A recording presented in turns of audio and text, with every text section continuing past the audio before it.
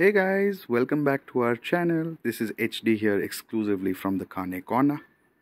Today I'm going to talk about a very essential topic which is key and pertinent to saving our pets from tick, fleas and parasites.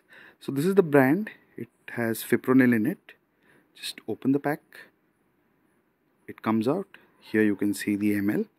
Depends on the weight of the pup and this is how you twist and turn and open it. So always make sure that it is placed in between the shoulders of your pup.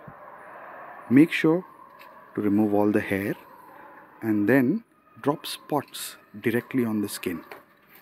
Just watch how I'm doing it for my puppy. Yes exactly.